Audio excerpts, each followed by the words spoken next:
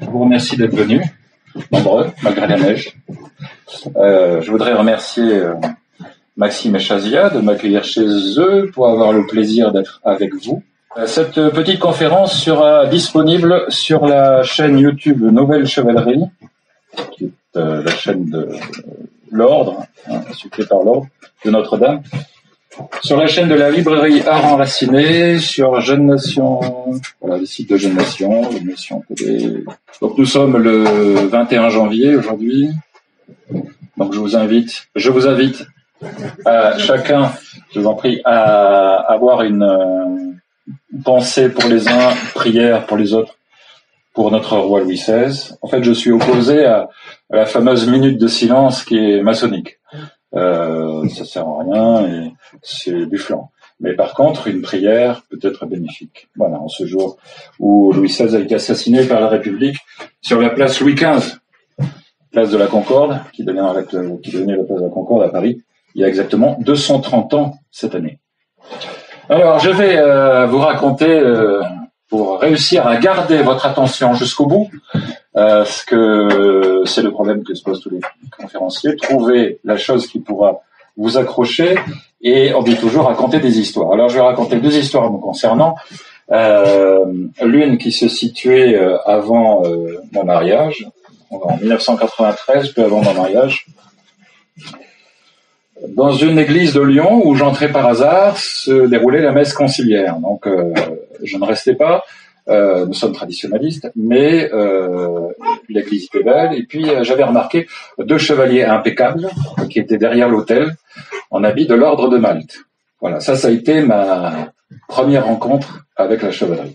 La deuxième histoire se situe en 1997 au prieuré de la Fraternité Saint-Pédis à Lyon et en quittant la chapelle après la messe, eh bien j'avais vu des images un petit peu comme ça, des, des tracts euh, de l'ordre de Chevalier Notre-Dame et ça m'avait euh, intéressé.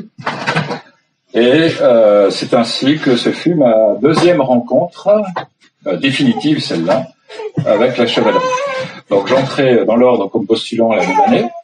Et en 2003, j'ai été adoubé chevalier des mains de Monseigneur de Galaretta à l'église Saint-Nicolas du Chardonnay à Paris. En 2003. Alors, pourquoi la chevalerie? Notre époque technologique. C'est la question qu'on peut se poser. A-t-on besoin de la Alors, je pense que l'homme n'est pas un animal, qu'il a besoin d'un idéal. Alors, je ne parle pas d'une chimère. Je parle d'un idéal qui nous permette de quitter la terre où on veut nous faire ramper d'épicerie en supermarché. Un idéal concret euh, donné par Dieu qui confia une âme à l'homme que l'homme doit lui rendre belle à sa mort. Or, la chevalerie est le plus bel idéal, à mon sens, du laïc chrétien, puisque c'est un état de vie qui, euh, s'il est bien accompli, peut nous faire réussir notre passage sur la terre, où nous ne sommes donc que de passage. Alors, est-ce que vous savez qui a dit ces paroles Je suis euh, chevalier, tel je vivrai, tel je mourrai, s'il plaît de très haut. Je marche dans les trois sentiers euh, de la chevalerie errante, méprisant les richesses mais non pas l'honneur. J'ai redressé des injures, j'ai redressé des torts, j'ai châtié des insolences, je n'ai pas d'intention qui ne soit droite, et je ne songe qu'à faire du bien à tout le monde. Un homme qui agit de la sorte euh, mérite-t-il d'être traité de fou? Vous savez qui a dit cette phrase Don Quichotte, le héros imaginaire de, de Cervantes. Et je trouve que cette phrase est, intéressante puisque euh, Don Quichotte ne, ne mérite pas la réputation, réputation qu'on lui a faite. On a beaucoup ri de Don Quichotte, on a beaucoup souri. Euh, bon, même s'il est recommandé de ne pas jouer les Don Quichotte, euh, peut-être que la, la, réputation de Don Quichotte n'est pas exactement. Enfin, il y a des choses intéressantes dans le roman de Cervantes. Euh, pourquoi euh, Bon, on n'aime pas trop sourire et rire de cela parce que euh, on continue de sourire actuellement dans une société qui est cessé d'être chrétienne. On sourit des valeurs les plus fondamentales de notre société. On sourit du, du, roi, on sourit des chevaliers. et quand on voit que ces valeurs ne veulent pas toutes mourir, alors qu'est-ce qu'on fait? En s'en prend à notre culture française et européenne. Quand on a cessé de rire, on casse. Alors je pense en particulier à toutes les menaces qui ont pesé sur la, librairie euh, de la part des opposants euh, politiques. On casse, on déboulonne nos statues, on, veut déboulonner une statue de Notre-Dame sur l'île de Ré. Euh, cet après-midi, je crois, il y a eu une manifestation populaire à Bourg-Argental parce que la statue de Jeanne d'Arc a été déboulonnée. Ils voulaient même arracher la croix qui était au-dessus. Bon, alors, moi, je vais à mon tour, avec vous, déboulonner le prétendu sérieux des déboulonneurs. Alors, un mot les désigne, vous savez, c'est le mot walk. Alors, walk, c'est un détournement du mot anglais awake. Parce que ces gentlemen s'auto-définissent, ils, aiment bien se congratuler et se, se mettre même des compliments, ils s'intitulent des éveilleurs de conscience.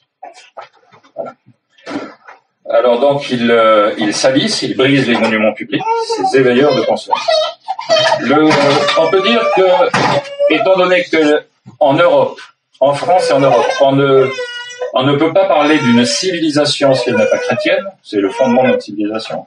On peut dire que ces gens qui s'en prennent à l'Église, euh, à la chrétienté, sont l'ennemi de la civilisation. Cette haine de notre passé, cette phobie des siècles passés, est née en fait à la Renaissance. Vous en inventez un mot, le Moyen Âge, l'âge moyen, défini comme euh, imparfait par rapport à l'âge parfait euh, de la Renaissance. On parle des siècles obscurs, on parle des heures les plus sombres de notre histoire. Alors, une chose est sûre, la chevalerie fascine toujours. La preuve, c'est que vous êtes là et je vous en remercie. Euh, parmi les ouvrages majeurs les plus sérieux sur le sujet, je vous les montre. Euh, vous, pouvez, je pense, vous les procurer auprès de Maxime, ici, c'est mieux à faire. Euh, S'il les a pas en rayon, il peut vous les commander. Vous avez La vie quotidienne des Templiers de Georges Bordonov. Georges Bordonov euh, est quand même l'un des historiens les plus les plus exacts, hein, on peut dire. Euh, il y a Régine Pernoud aussi, euh, côté des femmes, comme quoi, madame, je ne parle pas que des hommes. Il y a Régine Pernoud aussi qui est très bien. Vous avez, revenons aux hommes, Alain de Murger, Chevalier du Christ. Alors là, c'est le, livre, le livre de référence, si vous voulez, qui parle de la chevalerie, euh, je dirais spécialement le 11e, 12e siècle, c'est cela, la chevalerie des Langues Gautier est euh, très célèbre et celui-ci a une vue plus élargie va jusqu'à la Renaissance avec tous les, les, ordres religieux militaires. On dit les ordres religieux et militaires et Dumurger a eu une bonne expression. Il a parlé des ordres religieux militaires en mettant un point de, de tirer entre les deux puisque pour le chevalier et le templier, par exemple, le religieux et le militaire ne peuvent pas se séparer.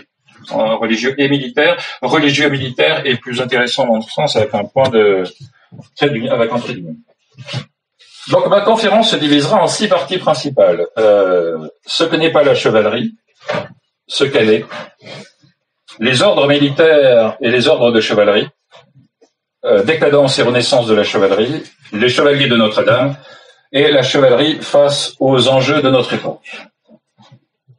Alors d'abord, ce n'est pas la chevalerie. Alors, je dois préciser une chose importante, je ne suis pas historien, donc il faut me pardonner peut-être certaines approximations s'il y en a. Je vous demande d'être indulgent. Je vais simplement vous exposer ce que je sais avec l'aide de Notre-Dame de France, dont les statuts dominent la librairie. Euh, alors, il est dommage que ce soit, surtout à notre époque, hein, on est dominé par l'image, c'est très bien l'image, mais il faut qu'elle arrive en complément du texte. On est dominé par l'image et donc on va au cinéma. Et il est dommage que euh, ce soit les cinéastes toujours qui donnent les cours d'histoire. Vous êtes d'accord avec moi? Les gens ne lisent pas ou lisent peu, ils vont au cinéma. Alors, c'est vrai, j'ai vu à la télé, c'est vrai, j'ai vu au cinéma. Bah, pas tout le temps. Par exemple, la classe 50, donc on est dans les années 50, a peut-être très peu lu euh, Georges Bordonov, Régine Pernoud et les livres dont je vous ai parlé. Par contre, tout le monde a vu Les Chevaliers de la Table Ronde ou euh, Le Chevalier du Château Maudit. Alors, il y a des, des approximations ou des idées fausses à déboulonner, justement. Euh, d'abord, la chevalerie n'est pas la corporation féodale euh, des cavaliers militaires. D'abord féodale. Elle est sortie de la féodalité, la chevalerie. Euh, la féodalité, le Moyen Âge n'est que l'âge moyen, n'est que le cadre historique où elle est née. Si vous voulez, lorsque le 7 octobre 1571 à Lépante, la Sainte Ligue, qui était une armada formidable, commandée par Don Juan d'Autriche, s'est opposée à la flotte turque dans le golfe de Lépante, eh bien, les chevaliers de Malte étaient présents. Et les chevaliers de Malte ont combattu sur l'eau et non plus à cheval. Ils n'avaient plus ces lourdes armures euh, que l'on voit au XVe siècle, les lourdes armures de plate, que, que, tout le monde sait par l'image, par le cinéma. Ils avaient des tuniques courtes, ils avaient euh, des cuirasses courtes, de simples cuirasses, légères même, parce que euh, le progrès avait été apparu et euh, les, les, boulets de canon étaient apparus. Le, le, canon avait fait son apparition et on s'apercevait que les anciennes, les vieilles armures féodales ne protégeaient pas du canon. Donc autant aller se battre en t-shirt. Donc la chevalerie, parmi les, autres, euh, entre parenthèses, ça me fait bien plaisir de vous parler de ce sujet-là cet après-midi avec vous. Parmi les, a priori qu'il y a sur la chevalerie, la chevalerie n'est pas dépassée. On a rapidement dit, enfin, on parle un peu trop rapidement en disant, oh, ben, de toute façon, c'est dépassé. Euh, en, en, fait, euh, quand on réfléchit bien, une institution n'est dépassée que lorsque son objet n'existe plus. Par exemple, une ligne de diligence entre Paris et Lyon. C'est dépassé. Pas besoin d'expliquer pourquoi. Parce qu'on ne se déplace plus en diligence. Étant donné que la nature de la chevalerie est une institution chrétienne pour la restauration et la défense de la chrétienté, étant donné que euh, l'Église a toujours des ennemis féroces, eh bien, la chevalerie a toute sa raison d'être et elle n'est en aucune façon On en arrive maintenant à la seconde partie, ce qu'est la chevalerie. Alors la chevalerie, comme dit euh, Léon Gauthier, le gros livre que je vous ai montré tout à l'heure, la chevalerie c'est simplement la condition militaire du militant chrétien. D'ailleurs, le mot militant vient du latin miles, qui veut dire soldat, chevalier. Militant, plus chevalier d'ailleurs que soldat. Donc c'est la condition militaire du chrétien. Voilà, c'est la définition de la chevalerie. La conférence est terminée, je vous remercie d'être venu, je vous souhaite une bonne après-midi. Non, vous restez. Alors, l'ordre de la chevalerie a pour objet le service, la restauration et la promotion de la chrétienté. Voilà, ce sont ces trois, euh, trois fins. Le christianisme n'était pas un vernis pour le chevalier du Moyen Âge, l'âge moyen, le chevalier féodal. C'était pas un vernis, il vivait sa foi. C'était euh, le christianisme, vraiment sa constitution. Juste, j'en reparlerai, jusqu'à son épée, qui est en forme de croix. Il est prêt à mourir pour elle. On le vit bien en ces chevaliers croisés qui sont partis. Ils ont tout quitté, leurs femmes, leurs enfants pour euh, aller mourir en Terre Sainte. Certains ne sont jamais revenus. Pas simplement parce qu'ils étaient morts, mais parce qu'ils avaient décidé d'entrer euh, dans ce fameux ordre des Templiers, par exemple. Alors la doctrine des deux oulala, la doctrine des deux elle est plus du tout enseignée euh, dans l'Église actuelle, vous vous en doutez, parce que essentiellement, elle est à caractère monarchique. Or, euh, l'Église actuelle est à caractère euh, démocrate. Voilà. Elle s'enorgueillit d'être démocrate. Alors, concernant cette doctrine d'idée de glaive, on ne peut pas comprendre en fait la chevalerie si on fait cette impasse dessus. Hein. C'est une doctrine préexistante qui, existait avant le pape euh, Boniface VIII. Donc, il n'a rien inventé, mais euh, il l'a mise en forme, sous forme de doctrine.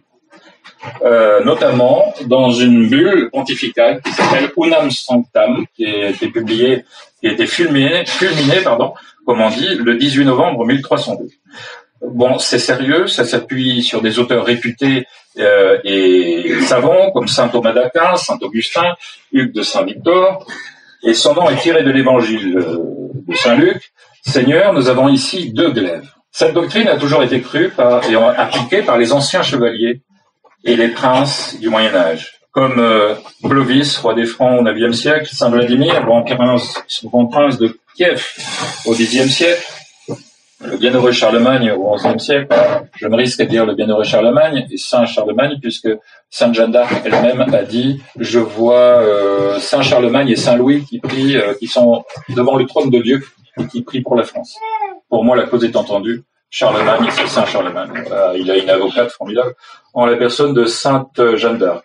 Alors, que, dit euh, cette doctrine des deux glaives est aussi ce qu'on appelle la doctrine politique et sociale de l'Église? Alors, précisons d'abord que, pour bien la comprendre, que dans un État chrétien, euh, on ne peut pas parler de théocratie comme dans les États musulmans. Il n'y a pas de théocratie. L'État chrétien n'est pas une théocratie. Néanmoins, euh, il n'y a pas une, euh, une, il n'y a pas une unité. La théocratie, c'est ça, une unité des pouvoirs entre euh, le trône et l'autel. Il n'y a pas d'unité, mais il y a une union, comme dans un mariage. Vous avez une union entre l'homme et la femme, mais l'homme et la femme restent différents l'un par rapport à l'autre. En chacun sa personnalité, sa personne. Et là, c'est un peu la, même chose. Euh, donc, il y a une association, une union, mais pas une unité. Souvent, un religieux était le conseiller du roi. On avait Saint Thomas d'Aquin pour euh, Saint Louis. On avait, euh, par exemple, euh, c'est pas le Moyen Âge, mais tant pis, c'est la même idée. on a le cardinal de Richelieu pour Louis XIII. En chrétienté, la mission de l'Église est de permettre à toute société humaine d'assurer le bonheur post-mortem, bien sûr, des citoyens. C'est ce qu'on appelle la finis en latin, c'est la théologie, on appelle ça la finis operis. Vous avez la finis operis, qui est la, fin euh, ultime de la société. Donc la société doit conduire tous les chrétiens vers le bonheur euh, ultime. Et vous avez la finis operantis, qui est la fin euh, que le chrétien s'assigne à lui-même, vivre selon la loi de Dieu, selon la loi de l'Église. Ainsi, il assurera son bonheur post-mortem. Alors, comme le Christ, donc il y a cette mission de la part de, l'Église, c'est de veiller, comme toute société, de veiller à ce que euh, tout le monde aille au ciel. Et comme le Christ est roi, son vicaire, en vertu de cette royauté, son vicaire a un, pouvoir, un pouvoir sur la société civile, en vue de permettre à chacun de faire son salut. Je parle évidemment d'un pape qui a conscience des devoirs de sa charge. Vous avez deux, la différence entre, entre Saint Pédis et François. Le pape exerce un double pouvoir, figuré par deux épées. Vous avez le premier glaive, doctrine des deux glaives. Hein. Vous avez le premier glaive qui est un pouvoir direct. Vous avez le second glaive qui est un pouvoir indirect. Alors, le prince, le, pardon, le prêtre, le pape, a un pouvoir, il peut exercer un pouvoir direct sur les fidèles il instruit les fidèles, il administre les sacrements. C'est un pouvoir direct. Le pape a parlé, la cause est entendue. Je parle de, par exemple, Saint Pidis. Et vous avez le pouvoir indirect, comme le pape, comme l'Église ne se permet pas de s'ingérer euh, dans les affaires, mettons, de, de Philippe le Bel, par exemple, euh, elle avait néanmoins un, un certain droit de regard sur euh, le gouvernement de Philippe Lebel, de façon à ce que Philippe Lebel, dans sa conduite euh, publique, ne déroge pas à ses fonctions de prince chrétien, que le prince chrétien ne donne pas matière à scandale. Voilà. Donc là, il y avait un certain droit de regard, c'est normal. Il n'y avait pas une ingérence dans les affaires de Philippe Lebel, contrairement à ce que Philippe Lebel a toujours prétendu, mais il y avait un certain droit de regard pour que le prince ne fasse pas n'importe quoi, puisqu'il a été euh, sacré par l'Église. Alors, le pape se réserve le droit de sanctionner publiquement un chef laïque si celui-ci, dans sa vie publique, se permet de tenir des propos euh, hérétiques ou bien est scandaleux par ses mœurs. Ça s'est produit souvent dans l'histoire. Voilà ce que disait Boniface VIII euh, en parlant de Philippe le Bel. Nous sommes docteurs en droit depuis 40 ans, nous savons fort bien qu'il y a deux puissances ordonnées par Dieu.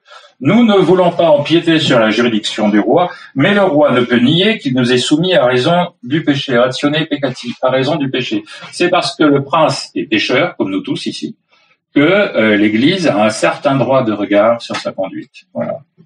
Comme un petit peu un père avec ses enfants. C'est la déclaration du pape Boniface VIII au consistoire d'août 1302. Alors, vous voyez ici euh, une très belle image extraite de la série télé Nightfall, euh, qui est, j'ai plus cherché quelle chaîne, euh, qui raconte plus ou moins sérieusement la fin des chevaliers du Temple.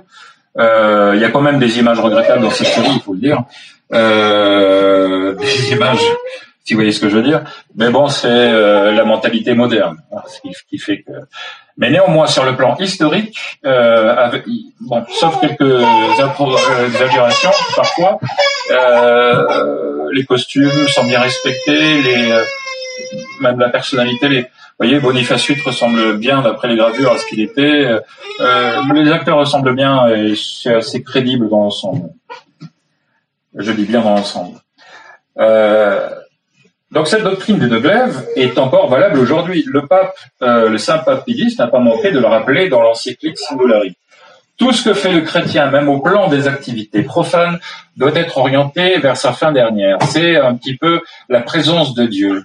Euh, le chrétien doit vivre, euh, se mettre dans la présence de Dieu et cette, euh, cette, seule, si vous voulez, condition qui lui permettra de garantir son bonheur futur. Donc, vers sa fin dernière, et toutes ces actions relèvent à ce titre de la juridiction de l'Église. Donc c'est pour ça que l'Église a un droit de regard, c'est pour ça qu'il y a le, pouvoir indirect de l'Église, le second glaive. Est-ce que vous avez bien tous euh, saisi euh, ces, deux aspects principaux de la doctrine des deux glaives? Est-ce que je me suis bien fait comprendre je veux dire? Oui, c'est bon. Si vous avez des questions, n'hésitez N'hésitez pas, ou on verra peut-être à la fin de la conférence. Donc revenons au chevalier. Alors maintenant, à l'heure actuelle, ça heurte les modernistes parce que euh, il ne voit le mal nulle part, l'Église n'a pas d'ennemis, il ne faut pas de violence, la violence doit être évitée à tout prix, ils n'ont pas notion de ce qui est la guerre juste, c'est-à-dire une guerre qui est pour défendre euh, la faiblesse. Euh, donc, ne parlons pas de guerriers chrétiens. Et c'était la même chose pendant les premiers siècles. Mais eux avaient de bonnes raisons. Pourquoi? Parce que si on faisait pas la paix, on faisait la guerre. Si on faisait la guerre, on était au service militaire de l'empereur. Or, les empereurs étaient païens. Le légionnaire romain, celui qui faisait le service militaire, euh, c'était le soldat païen chargé d'aller traquer les chrétiens au temps des persécutions. Donc les chrétiens, l'église de cette époque-là, l'église des catacombes, des catacombes, avait interdit à tout baptisé de servir dans les armées de, l'empereur. Mais viendra la conversion de Constantin, qui va promulguer euh, l'édit de Milan en 312, qui va donner la liberté à l'Église. Et alors à ce moment-là, le chrétien pouvait même devait faire son service militaire, puisque les empereurs étaient devenus chrétiens. Et les empereurs qui les suivront, bon, je ne parle pas de Julien l'Apostat, euh, mais euh, des autres empereurs qui suivront, eh bien, euh, étaient chrétiens, donc il n'y avait aucune raison de ne pas faire euh, la guerre. Et c'est ainsi qu'est apparue progressivement l'idée de guerre juste par rapport à une guerre injuste, hein, et qui est l'une des bases de la, de la, de la croisade. Donc, euh, Léon Gauthier a donné la définition de la mission de la chevalerie, étendre ici-bas euh, les frontières du royaume de Dieu. Ici-bas, ça évoque les institutions humaines, dans les, dans les rapports entre les familles, les associations, les, les corporations, etc. Dans les institutions humaines, il fallait euh, mettre le royaume de Dieu, le royaume des Christ rois. Et euh, c'est pour ça que l'Église, c'est dans ce but que l'Église va instituer, pour euh, rendre la société encore plus chrétienne qu'elle n'était, euh, le sacre du roi, de l'empereur et l'adoubement des chevaliers. Alors, comment est née la chevalerie? Alors d'abord, ce n'est pas, ce qui est important, il est important de savoir que la chevalerie n'est pas une institution née un jour suite à un article de loi, par exemple. C'est un ensemble de coutumes naturel, euh, d'origine euh, franque, exactement germanique, que l'Église surnaturalisera à partir du 9e et 10e siècle, en faisant vraiment le chevalier chrétien. Avant, on pouvait dire, on pouvait parler plus exactement d'un guerrier. Un guerrier, euh, chrétien, et ensuite il y aura ce qu'on appelle le chevalier. Vous savez qu'il y a eu des traditions militaires dans toutes les civilisations. Vous avez les samouraïs, bien sûr, au Japon. Vous avez les kshatriyas en Inde. Euh, qui existait toujours, je crois, pour défendre euh, l'hindouisme. Et vous avez euh, les Spartiates en Grèce, etc. Mais la chevalerie, proprement dite, est héritée des traditions viriles des barbares germains qui ont euh, envahi l'Europe occidentale. Barbare, on appelait barbare euh, la personne qui ne parlait ni latin ni grec. C'est ça la définition du mot barbare, essentiellement. Alors, sur les, derniers jours de l'Empire romain, euh, en 98 après Jésus-Christ, l'historien Tacitus, Tacite, est fasciné par les coutumes des guerriers germains. Donc, les légions romaines, euh, sachant que l'Empire a été menacé, euh, fortifier euh, les frontières de l'Empire contre les barbares, notamment les Germains, en fortifiant, en renforçant les, les limes, c'est-à-dire les frontières qui protégeaient l'Empire, grâce aux légionnaires qui étaient des bâtisseurs formidables. Et de l'autre côté du Rhin s'agitaient les, les, guerriers germains. Et euh, Tacite était sur place, il était fasciné, parce que euh, cette époque-là, euh, c'était l'époque où Rome sombrait dans la décadence, avec des Romains qui étaient repus, qui avaient abandonné tout idéal de conquête. Et, donc, euh, lui, Tacitus, qu'est-ce qu'il voit? Il voit des guerriers germains avec des mœurs viriles, euh, et lui, il est conquis. Et il transmet ces informations à l'empereur Trajan. Il dit, voilà, euh, Majesté, je suis au milieu des Germains, et je pense même à faire un livre manuscrit qu'il fera des Germania, la vie et les vies et mœurs des Germains, euh, qui raconte ces mœurs-là, qui évoluaient au nord du Rhin et du Danube. Et un de leurs rites militaires est raconté par lui. Écoutez bien. Donc, euh, vous avez, c'est un petit peu comme un chapitre général, hein, dans un ordre religieux, ou bien même au chapitre de Notre-Dame, vous avez tout le monde qui s'assemble dans une vaste clairière, euh, et euh, autour du chef. Et le chef prononce quelques noms. Ces noms-là, c'est des noms de jeunes gens que leur, on va dire leur, leur protecteur, leur parrain, avance, pousse devant eux, et ils vont recevoir, euh, c'est ce qu'on appelle la passation des armes viriles. Ils vont recevoir l'arme défensive, c'est le bouclier, et l'arme offensive, c'est la framée, qui est euh, le javelot, la lance. À ce moment-là, le garçon va quitter euh, les jupes de sa mère pour euh, rejoindre les hommes. Et cette expression est passée longtemps. Hein. On, a dit euh, longtemps, il est passé aux hommes. C'était ça. Il passe aux hommes. Il quitte sa mère et il rejoint les hommes qui vont faire, qui vont assurer, son parrain va assurer son apprentissage militaire. Et euh, plusieurs de nos souverains vont ainsi armer, on disait aussi adopter de leur vivant euh, leur successeur. Vous avez Charlemagne qui va cendre l'épée au, aux côtés du prince Louis. À son tour, Louis le Germanique va cendre l'épée à son fils Charles, futur empereur. Euh, Gontran, roi des Francs, remettra la framée à son fils Childebert, le futur Childebert II.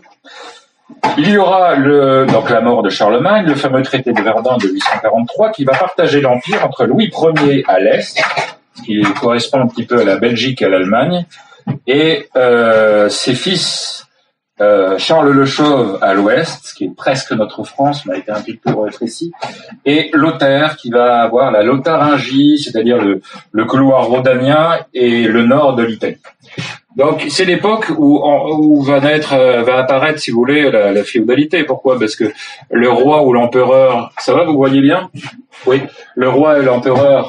Euh, il y a d'abord eu des empereurs, puis ensuite des rois. Ils sont faibles. Ils n'ont pas la possibilité militaire de pouvoir assurer la protection euh, de ce qui reste de l'empire morcelé contre les pierres normands, contre les pierres en général, et même la morale chute et euh, les seigneurs locaux euh, vont se faire pillards eux-mêmes, on va les appeler les, seigneurs brigands. Euh, les champs vont être ravagés au temps de la moisson. Bon, bref, le peuple va être éreinté. Il va supplier son évêque, qui représente l'évêque pour correspondre, si vous voulez, à la seule autorité morale encore debout, et à supplier l'évêque de faire quelque chose. Et là, c'est l'origine, si vous voulez, de l'adoubement militaire de l'adoubement, pardon, liturgique. Voilà. De l'adoubement en général et de l'adoubement liturgique en particulier, qui sont tous les deux sont, contemporains. J'en regardais. Hein. On a dit que l'un était apparu avant et l'autre après. C'est la thèse de Julien Rolby d'ailleurs, euh, mais. Donc l'Église va trouver les barons pour leur confier par le truchement des moines et des jongleurs chantant les chansons de gestes carolingiennes, il va avoir confié la mission qui a avant été confiée à l'empereur. Protéger l'opprimé, euh, venger l'injustice, etc. Protéger la, faiblesse. Donc l'Église va tout de suite les rassurer en leur disant que être chrétien n'est pas avoir une conduite chrétienne à l'armée n'est pas incompatible avec euh, le fait d'être viril. Donc ils vont être euh, conquis, euh, ils vont être séduits, ils vont amorcer leur conversion, et désormais les les chevaliers obéiront à un seul code d'honneur, qui est le code de la chevalerie, que le cinéma en a beaucoup parlé. qui est une fidèle adaptation du.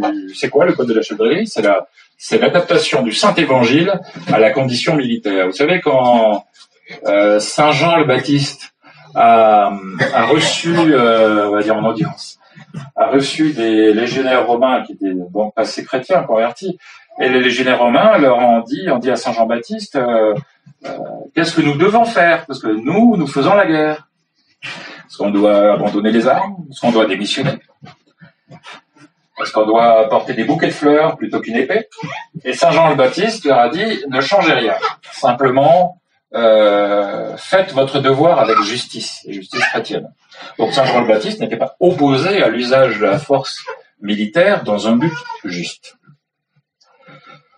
Donc ainsi naît la chevalerie au Xe siècle, euh, et les chevaliers aspirent à être des nouveaux Galates. Galate, c'est le type parfait du chevalier. Il apparaît euh, dans, le roman La quête du Graal, et je crois aussi un petit peu dans les Chevaliers d'Azaron.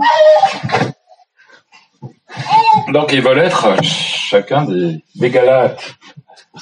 Alors vous voyez ici, euh, oui pour vous c'est la gauche, chez moi c'est inverti. Vous voyez ici, euh, oui, à gauche, voilà, à droite de l'image, mais à gauche pour vous, l'épée du viking, et euh, en face l'épée du chevalier. Euh, donc vous voyez les, les, les l'épée est composée d'une lame et vous avez la garde qui est la, fusée, on appelle ça la fusée, le poignet, et puis vous avez les esquillons ou les quillons. Dans le cadre euh, de l'épée du viking, les quillons sont recourbés.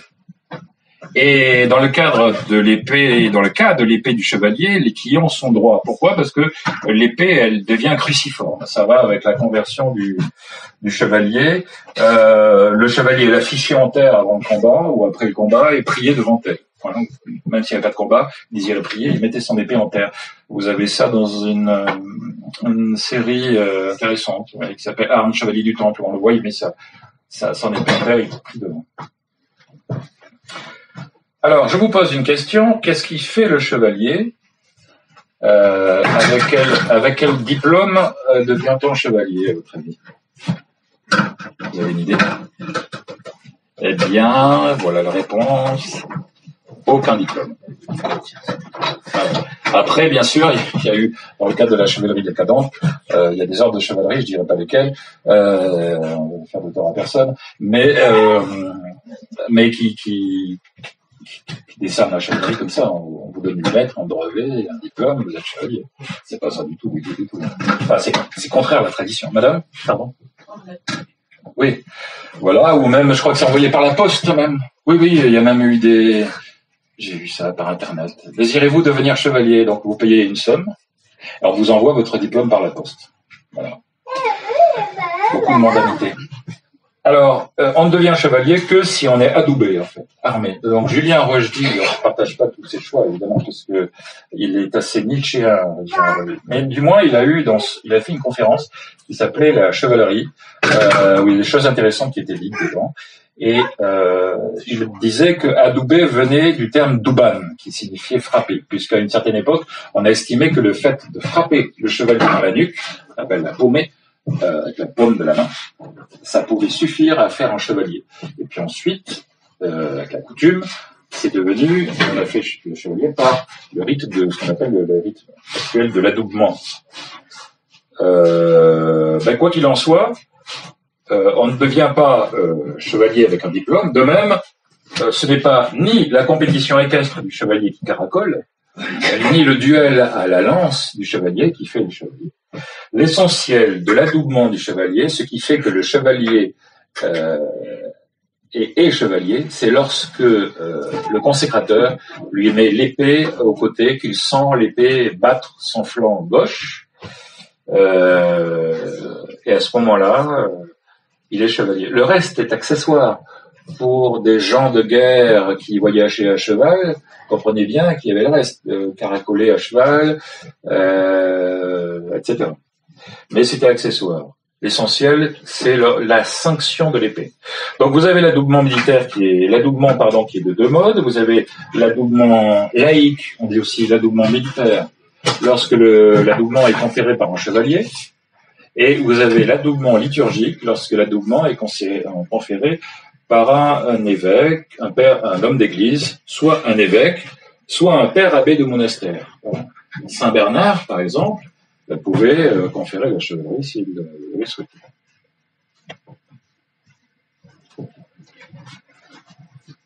Donc quelque chose qui détruit euh, l'argument évolutionniste euh, qui consiste à dire l'armement du chevalier a d'abord été fait d'un chevalier à l'autre et ensuite ce sont les moines et les, et les prêtres qui ont fait des chevaliers.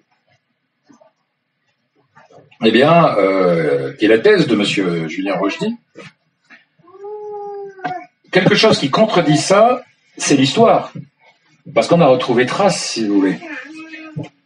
Euh, dire qu'il y a eu d'abord l'adoubement militaire, qui est un adoubement viril, qui faisait le chevalier.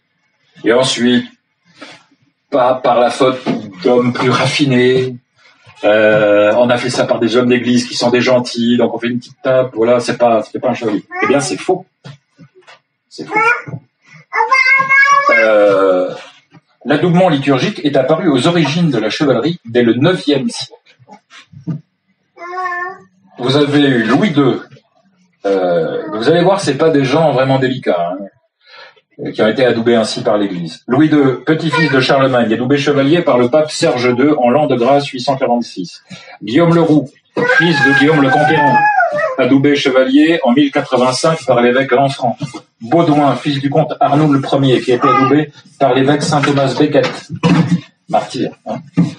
Euh, Amaury, fils de Simon de Montfort, le chef de la croisade contre les Albigeois, armé chevalier par l'évêque d'Orléans, Manassès, etc., Si on a euh, perdu ce rituel euh, par le pape Serge II, d'armer l'empereur Louis II, en revanche, les chercheurs ont trouvé, pour une fois, Qu'est-ce que vous faites? Je suis chercheur. Et vous trouvez? C'est le temps à chercher, non, je plaisante. Mais les chercheurs ont trouvé, pour une fois, je présente, parce qu'il y a beaucoup de chercheurs qui trouvent vraiment des choses, en général, des choses intéressantes, en matière de médecine notamment. Des bons chercheurs. les chercheurs ont trouvé euh, des pontificaux contenant l'adoubement liturgique, on appelle ça la Benediction Novi Militis, la bénédiction du nouveau chevalier, euh, à partir du Xe siècle, l'époque où naissait la chevalerie.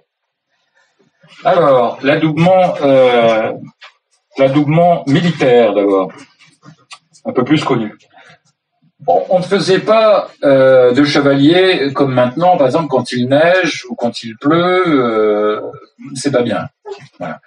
On faisait un chevalier par beau temps, quand le, soleil brille, quand le climat est doux, etc. Et c'est pour ça que l'été et le printemps étaient choisis de, de préférence pour l'adoubement.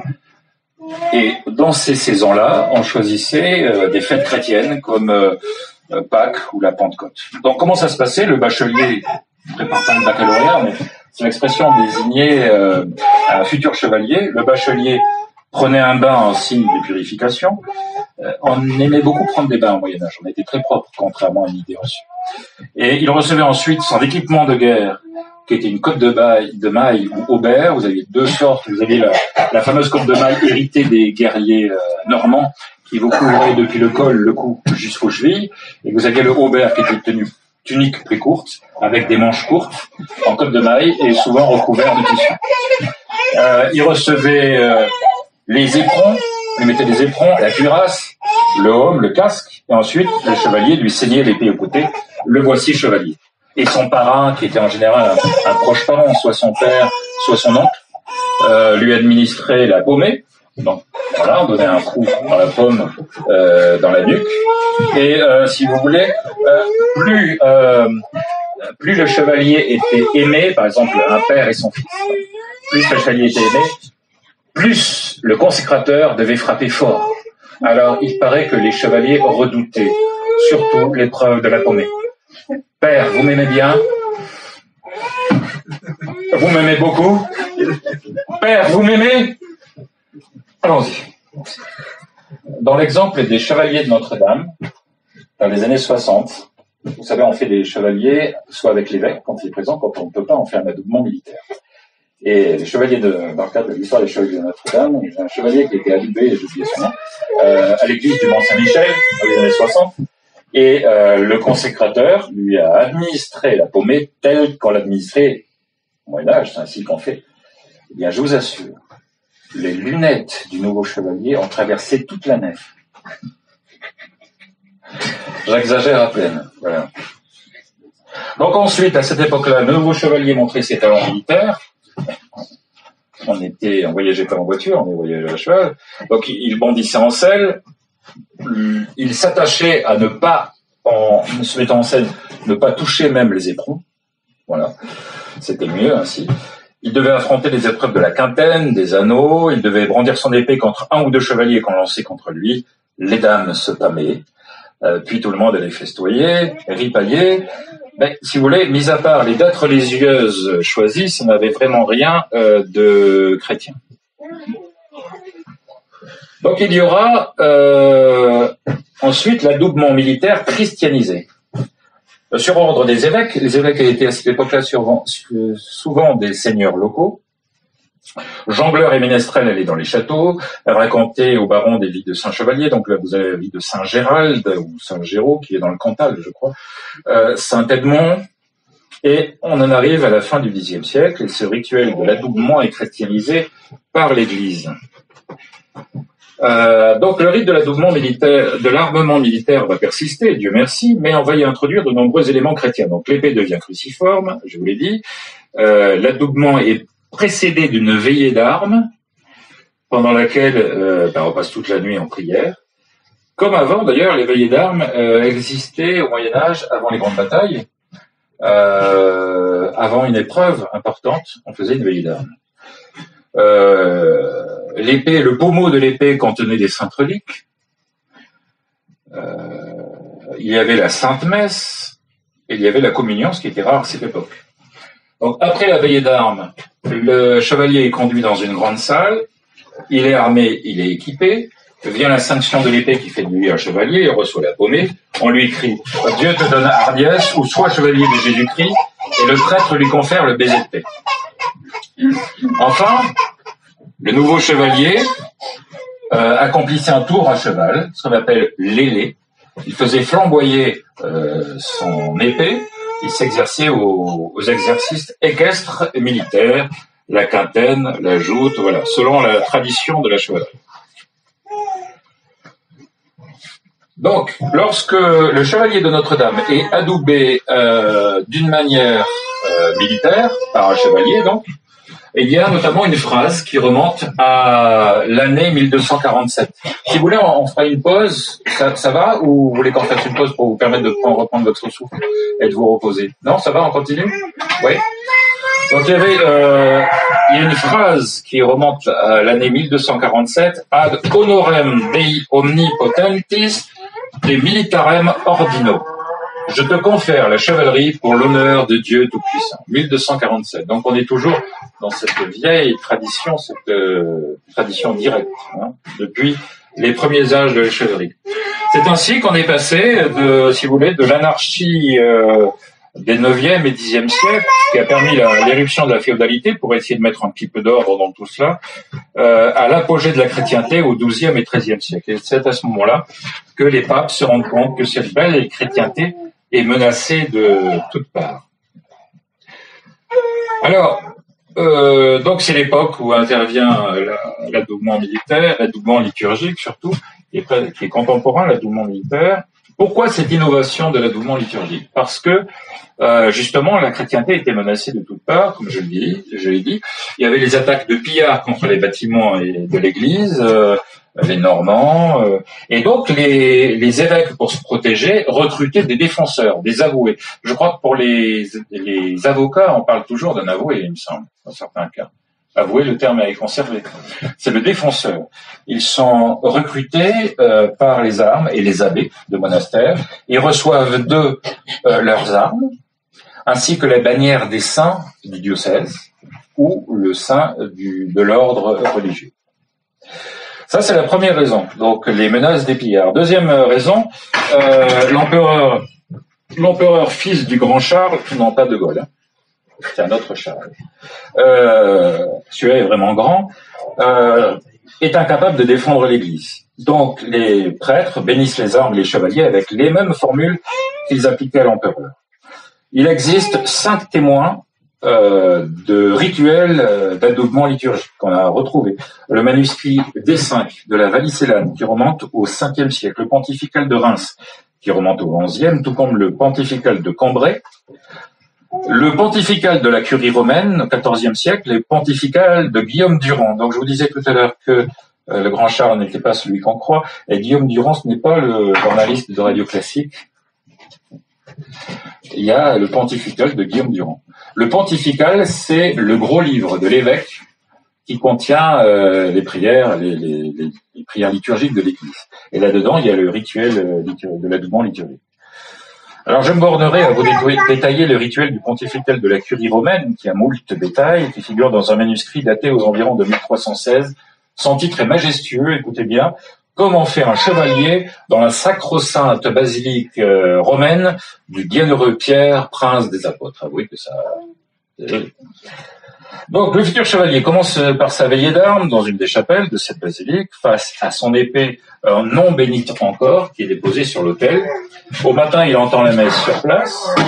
Ensuite, entre euh, solennellement euh, l'archiprêtre de la basilique ou le prieur des chanoines, suivi par les chanoines eux-mêmes, qui forment le chœur qui va chanter pendant la cérémonie. Donc la cérémonie commence par une série de versets suivis de trois oraisons dites par ce chœur.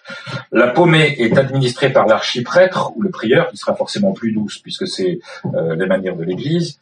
Et puis nouvelle horizon. Le militant douce, qui est le futur chevalier, prête serment de défendre euh, l'Église, de défendre le diocèse, de défendre le monastère, entre les mains de l'archiprêtre et euh, de défendre les veuves et les enfants. Et ceci fait, on s'approche de l'autel sur, sur lequel repose l'épée, euh, l'archiprêtre s'en saisit et euh, la donne au bachelier en disant Reçois ce glaive pris de dessus le corps du bienheureux Pierre. Et il bénit l'épée dans la main du chevalier. Et suivent des horizons supplémentaires. Après quoi, l'archiprêtre ceint l'épée au nouveau chevalier en prononçant un nouveau verset. Euh, il ajoute Remarque que les saints ont vaincu les royaumes non par le glaive, mais par la foi. Et il donne le baiser de paix en disant Oui, il s'agit toujours, si vous voulez, de, de christianiser la guerre. L'Église a toujours eu horreur de la guerre, mais euh, elle, elle, ne peut pas approuver la guerre, mais néanmoins elle a toujours tout fait pour adoucir les conditions de la guerre. Donc c'est contenu dans cette phrase, si vous voulez, euh, que les saints ont vaincu les royaumes non par le glaive, mais par la foi. Toujours cette volonté de vouloir apaiser le guerrier quand les sang bouillonnent. Puis il donne le baiser de en disant Va et agis comme un bon chevalier du Christ et du bienheureux Pierre, le portier, j'aime beaucoup cette image, du royaume céleste. Et le chevalier et le cœur répondent Amen. Et pour terminer, le nouveau chevalier reçoit ses éperons d'or de quelques chevaliers plus anciens euh, sur les marges de la basilique et retourne chez lui après avoir fait une offrande. C'est très beau. Euh, il y avait cette coutume euh, de d'offrir son épée, sa figure épée, de l'offrir au monastère et ensuite de l'arracher, ce qui, était le prétexte à une belle offrande pour les chevaliers fortunés, parce que euh, ça coûtait quand même un petit peu.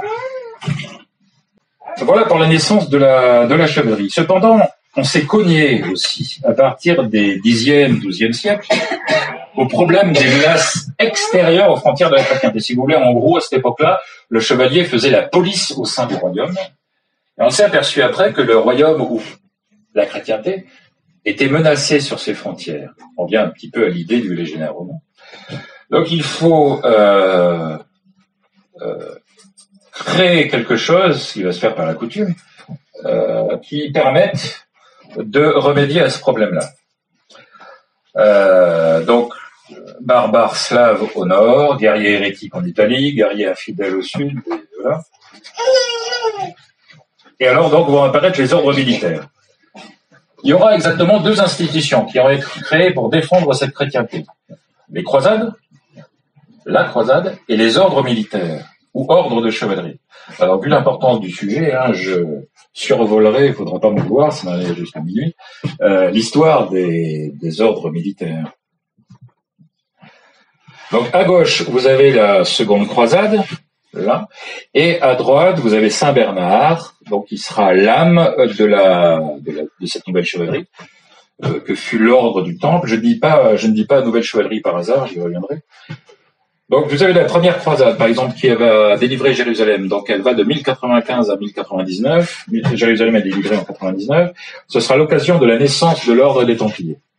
Ce sont eux qui donnera l'impulsion pour la création d'autres ordres militaires en Palestine, en Espagne, au Portugal, euh, en Prusse.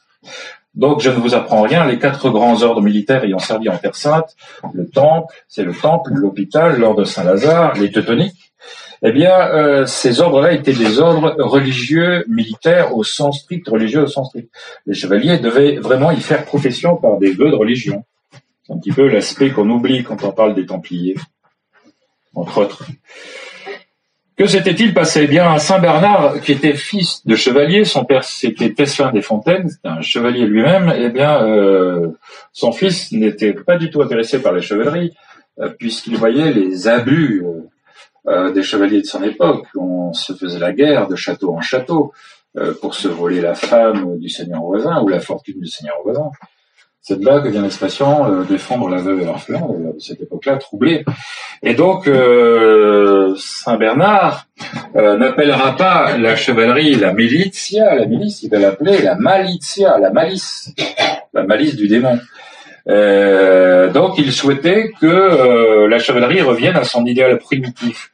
Donc, cette occasion sera fournie par la croisade, notamment.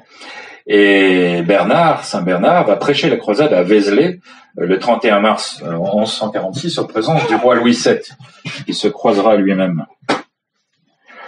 Donc la croisade, bon, c'est tout simple, ce n'est pas, ce n'est pas une agression comme disent les modernistes, c'est une, réaction de défense. Vous aviez la menace turque seljoukide qui opprimait Jérusalem euh, et qui menaçait l'Occident.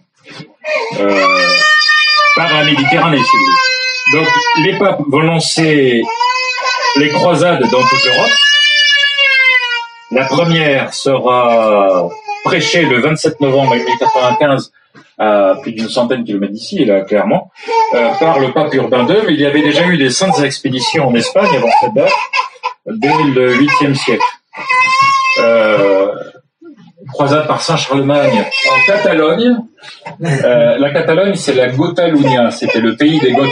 Donc, euh, fallait faire quelque chose contre les Goths. Catalogne. Euh, il y avait une croisade contre les Sarrasins en Sardaigne, en Sicile, en Italie du Sud. Croisade en Europe du Centre et de l'Est contre les païens slaves ou baltes, même contre les Mongols. Croisade dans le milieu de la France et du nord de l'Italie contre les Albigeois et les Manichéens. Cependant, les indulgences, de la croisade n'étaient accordées, euh, l'Église accordait des indulgences aux, croisés, diverses d'ailleurs, mais c'était euh, vrai que pour 40 jours, pour 40 jours, au bout de 40 jours, les croisés étaient, libres, étaient déliés de leur vœu de croisade et pouvaient rentrer chez eux. Chez eux. Donc, euh, voilà. C'est pour ça que certains chrétiens croisés ont désiré rester sur place pour euh, continuer à défendre euh, la Terre Sainte. Et c'est ainsi que c'est la genèse euh, du premier ordre de chevalerie de l'histoire, l'ordre du Temple. Donc la Providence ressuscitait le chevalier Hugues de Pin ou Hugo de Paganis que vous voyez en bas de l'image, là, ici, à droite, euh, pour constituer cet ordre. En fait, pendant une dizaine d'années, lui et ses compagnons chevaliers, qui ne faisaient encore pas partie d'un ordre de chevalerie, c'était des chevaliers séculiers, qui vivent dans le siècle, eh bien, euh, ne dormaient pas. Hein. Ils ont fait l'aller-retour entre la côte et Jérusalem pour guider et protéger les pèlerins. Puis, Avec l'accord du patriarche de Jérusalem, comme ils cherchaient de la stabilité dans leur institution, ils ont fondé en 1118 ou 1119 l'ordre des pauvres chevaliers du Christ. C'est le vrai nom des Templiers. Ils vivaient de l'aumône des fidèles, leurs vêtements ne leur appartenaient pas, et euh, le roi Baudouin II leur a donné une, une aile, puis la totalité de son palais, qui était situé sur les ruines de l'ancien temple de Salomon, euh, le palais du roi. D'où leur nom de Templiers. Voilà, les chevaliers qui habitent au temple. Euh, donc, le, roi de Jérusalem, euh, comprenant tous les bienfaits d'une milice permanente, qui restera sur place, qui ne partira pas au bout de 40 jours, a dit à Hugues de Pin, le fondateur, il a dit, écoutez, euh, euh, vous allez recruter beaucoup de monde si vous avez l'aval, l'autorisation, la bénédiction du pape, ce qu'on appelle l'autorisation pontificale. C'est ainsi qu'il va faire tout un périple en Europe qui va lui permettre de recruter des gens et il va avoir cette autorisation pontificale. Sera rédigée la règle du temple au concile de Troyes en janvier 1128 et l'ordre va recevoir beaucoup de donations et surtout beaucoup de, vocations. Vous voyez ici la très belle forteresse, le Crac des Chevaliers, qui se trouve en Syrie, euh, qui a été construit par les chevaliers de l'hôpital, futur ordre de Malte, et euh, qui abritait également les chevaliers du Temple quand il s'agissait de, euh, de lutter contre une menace, contre Saladin, etc. Donc, à l'imitation des Templiers, les autres ordres hospitaliers se militariseront également. Je dis à l'imitation des Templiers, c'est un petit peu un. Les Templiers étaient militaires dès le départ. Les autres ordres se militarisés progressivement afin de pouvoir se défendre, parce que c'était tous des hospitaliers à la base. Ils avaient un hôpital, il y avait des, des, religieux qui s'occupaient des malades, les malades eux-mêmes ne peuvent pas se défendre, et les hôpitaux étaient attaqués par les pillards. Donc il fallait qu'ils se défendent. C'est pour ça qu'ils se sont militarisés. Vous avez l'ordre hospitalier de Saint-Jean de Jérusalem, militarisé dans les années 1120, l'ordre teutonique en 1198, l'ordre de Saint-Lazare vers 1200. Mais vous avez de nombreux ordres militaires qui sont également établis sur tous les fronts de la chrétienté, là où il y a eu des croisades. Les plus célèbres, ça a été l'ordre de Notre-Dame de la Merci. Une certaine propagande tend à faire croire que l'ordre de la Merci, c'était de paisibles religieux qui passaient leur temps à prier. À prier, pardon. Pas vrai du tout. C'était des chevaliers, constitués un ordre de chevalerie, et donc ils commençaient, quand il y avait des prisonniers euh, par les Sarrasins, ils commençaient par envoyer une ambassade diplomatique au sultan pour obtenir la, délivrance des, prisonniers, euh, au besoin en, en, en ayant. Et lorsqu'il y avait un refus catégorique, eh bien, ils usaient la force militaire et ils faisaient une razzia dans le camp sarrasin pour euh, délivrer les, prisonniers. Vous aviez également l'ordre de Saint-Julien d'Alperero qui deviendra l'ordre d'Alcantara au royaume de Castille. Vous voyez cette croix fleur de lysée en haut à gauche, la croix noire et blanche. Euh, l'ordre de Saint-Jacques de l'Épée, l'ordre de Santiago dans le royaume de Léon, l'ordre d'Evora au Portugal qui deviendra l'ordre d'Avis. La Militia Christi, ça c'est intéressant, c'est un ordre du, euh, de, la milice du Christ qui a été fondée euh, par Saint Dominique en Lombardie. Pareil, les, en Lombardie, euh, si vous voulez, vous aviez les manichéens, c'est une erreur, une hérésie, et donc les manichéens, les cathares, si vous voulez, euh, les cathares pour la France, euh, les cathares, les manichéens, euh, au moyen des, par le truchement des nobles qui, qui, partageaient leur foi, eh bien ces nobles-là faisaient des ravages épouvantables. Donc il a fallu lutter contre ce fléau, et donc c'est ainsi que Saint Dominique a fondé euh, l'ordre euh, du Christ. Euh, vous avez l'ordre teutonique qui a combattu en Terre Sainte, en Venise, à Venise, en Hongrie, en Prusse et dans le euh, Brandebourg. L'ordre des Porte-Glaives qui sera ensuite intégré à l'ordre teutonique qui était fondé en 1202, etc. Donc parmi ces ordres, beaucoup étaient formés de religieux. Euh, D'autres étaient composés de chevaliers laïcs, comme la milice du Christ de Saint-Dominique. D'autres, enfin, tel l'ordre de Santiago, avaient une classe de chevaliers religieux et euh, une classe de chevaliers laïcs qui pouvaient intégrer l'ordre avec leurs épouses. Alors là, euh, il va falloir là aussi essayer de ne pas sourire.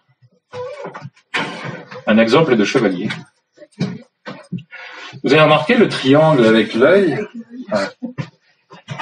Alors, comprenez-moi bien, je suis convaincu que les confréries vinicoles ont leur utilité en France, notamment pour protéger nos excellents vins de la concurrence étrangère. Ceci dit, je pense qu'on ne doit pas donner le nom de chevalier à des gens qui ne le sont pas.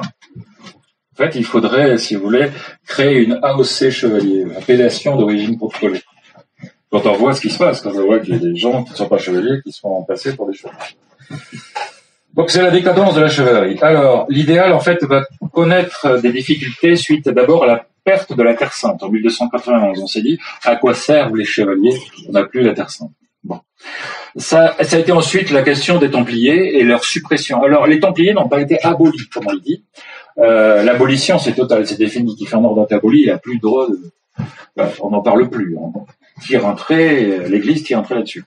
Là, l'Église n'a pas aboli euh, parce que bon, on s'est aperçu qu'il y avait des irrégularités dans le procès des Templiers. Elle a fait simplement la suppression de l'ordre par provision. Euh, donc les Templiers, ben, leurs biens ont, été transférés aux, hospitaliers de Saint-Jean de Jérusalem, aujourd'hui Ordre de Malte, qui a reçu tous ces biens, sauf dans les péninsules ibériques et italiennes. Euh, et vous avez la politique des princes qui sera aussi décisive dans cette euh, perte de l'idéal. Si vous voulez, par un mauvais calcul politique, les princes qui étaient très pieux en privé ont voulu étendre leur puissance au détriment de l'Église, de la chrétienté, déjà blessée à mort. Or, la chevalerie euh, des ordres religieux militaires, qui était dévouée à la protection de la chrétienté, c'était un petit peu le caillou dans la chaussure. C'est devenu insupportable à ces princes jaloux de leur indépendance vis-à-vis de Rome. Si vous voulez, on était loin déjà de l'idéal chrétien de Saint Louis. Donc il y avait trois solutions. Pour ces princes, soit annexer ces ordres, les séculariser, les annexer, après avoir confisqué leurs biens. Donc c'est ce qui est arrivé pour l'ordre de Saint-Lazare, qui est devenu l'ordre royal des Saint-Maurice et Lazare pour la maison de Savoie, et l'ordre de Notre-Dame du Mont-Carmel et de Saint-Lazare pour la maison de Bourbon. Les ordres de la péninsule ibérique également ne sont plus devenus que des décorations ou ont disparu. Donc voilà, annexer ces ordres, les séculariser, confisquer leurs biens, ou bien, si ces ordres résistent, comme ça a été le cas pour les Templiers, les détruire par la force. Ou troisième solution, créer pour les princes, par et pour les princes, leurs propres ordres de chevalerie. Il y en a qui sont très bien d'ailleurs. Hein. Euh, vous avez euh, mais qui étaient tout dévoués à leur dynastie. L'ordre de Saint-Michel, l'ordre du Saint-Esprit, l'ordre de Saint-Louis, etc. beaucoup de chevaliers de Saint-Louis se sont battus pour défendre le roi Louis XVI dans les derniers jours, avant qu'il soit incarcéré au temple.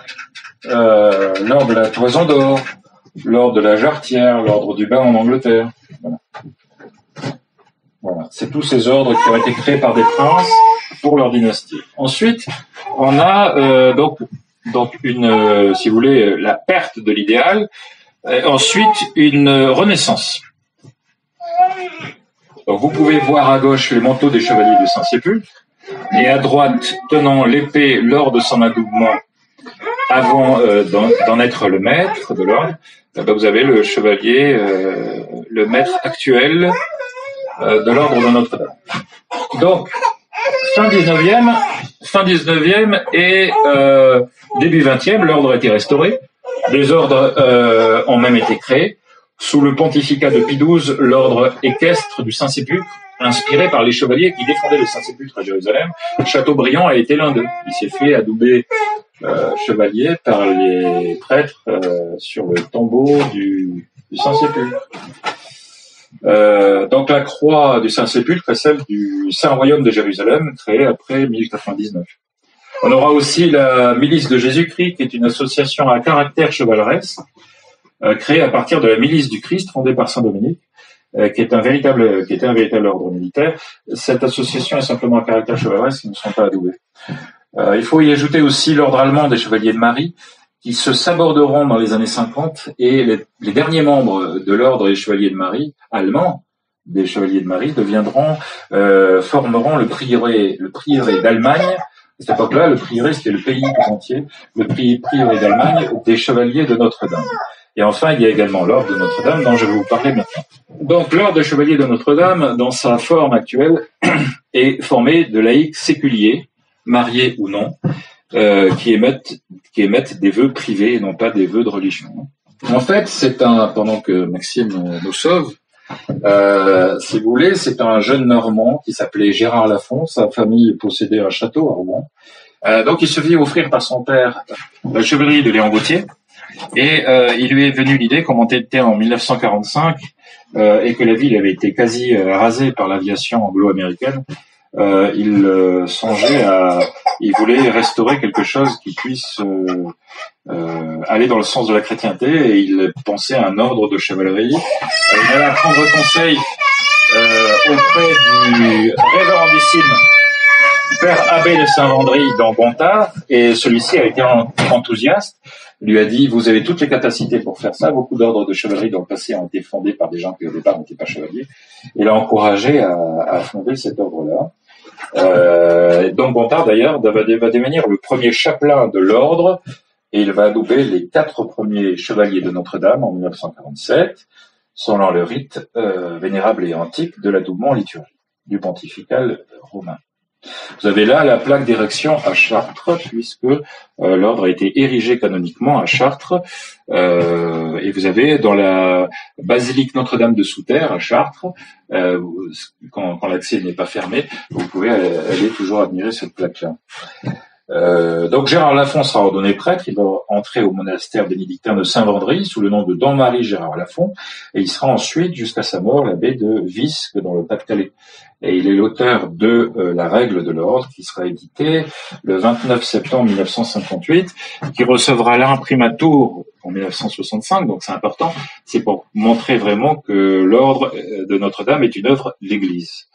Il y a eu l'imprimatur de l'évêque, voilà l'exemplaire de la règle des chevaliers de Notre-Dame. Justement, on est à la vigile, à la veille de Noël, en 1964. L'ordre est érigé canoniquement en la cathédrale de Chartres par Monseigneur Michon, en présence de Monseigneur Lallier, euh, archevêque de Marseille, et du prince Xavier de Bourbon-Parme, qui était chevalier du Saint-Sépulcre. L'ordre est aussi érigé, érigé canoniquement à Sion en Suisse en 1968, à Ratisbonne en Allemagne, à Braga au Portugal, à Santander en Espagne, mais la grande œuvre du Concile, si j'ose dire, va démolir cette œuvre d'Église et il faudra tout rebâtir à partir de 1989. Si vous voulez, à partir de 1970, il va y avoir une scission. Les chevaliers traditionnalistes vont quitter l'ordre et euh, il y aura un certain temps, on va dire, d'acclimatation. Chat échaudé craint l'eau froide. Euh, comme ils ont été chassés ou certains sont partis volontairement chassés d'un ordre euh, de chevalerie, d'un ordre. Ils n'ont pas voulu tout de suite recréer un ordre à cause de l'exigence de l'obéissance. Donc ils ont euh, fondé une, fraternité catholique des chevaliers séculiers, une fraternité mais quand même beaucoup plus libre, au cas où il y aurait des pépins euh, qui leur arrivent dessus, encore une fois. Et donc il va y avoir un, un temps de silence, on va dire, entre 1970 et 1989, et la restauration de l'ordre des Chevaliers Notre-Dame, en fait exactement la création de la branche traditionnaliste de l'ordre, qui sera une véritable restauration de l'ordre lui-même, euh, sera en 1989. Là, vous pouvez voir les chevaliers Jean-Pierre Leroy, qui est au premier plan, qui est l'ancien maître de l'ordre. À sa droite, vous avez le chevalier Raoul de Bonnet, qui était, je crois, son parrain de chevalerie. Et derrière, vous avez euh, le chevalier André Josanne. Nous sommes dans les années 60. Donc vous voyez, la croix n'est pas la même, puisqu'on ajoutera, nous, à partir de 1989, les cinq heures de Jésus-Marie, les deux cœurs uniques, au, cœur de, au centre de la croix. À l'époque-là, il n'y avait, pas le, les cœurs uniques. Mais bon, à époque-là, avant les années 70, avant le concile, on avait affaire à des gens vraiment catholiques, évidemment.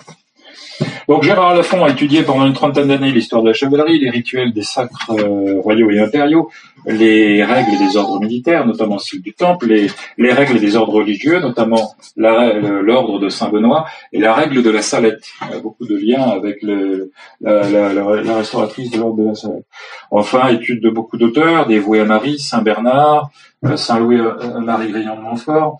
Donc l'ordre se développe, des commanderies sont fondées, à Paris, à Rouen, à Strasbourg, en Suisse, en Allemagne, au Portugal, en Espagne et en Angleterre. Donc le combat. Euh, le chrétien moderniste euh, vous affirme dans un sourire béat que l'Église n'a que des amis. donc quand même scandaleusement, l'Église ordonne euh, la démolition d'églises pour que celle-ci soit transformée en centre culturel. Mais bon, voire pire. Mais bon, il n'y a pas de combat. S'il n'y avait pas de combat, il n'y aurait pas d'ordre de chevalerie. Mais il faut être de mauvaise foi, au sens propre au figuré, pour ignorer les ennemis de la chrétienté et de l'Église.